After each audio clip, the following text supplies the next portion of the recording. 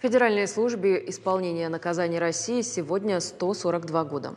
Отметили праздник и в Северной Осетии. Торжественное мероприятие прошло в актовом зале управления.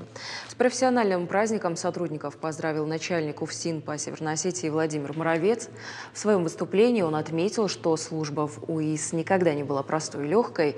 История уголовно-исполнительной системы России началась с указа Александра II о создании главного тюремного управления в 1879 году. Этот орган стал высшей контролирующей инстанцией. С тех пор система перетерпела, перетерпела значительные изменения. Мне хочется сказать искренние слова благодарности всем присутствующим здесь и отсутствующим, и тем, в первую очередь тем, кто сегодня и вчера в наши праздничные дни несет службу непосредственно в учреждениях, непосредственно исполняет обязанности со спецконтингентом.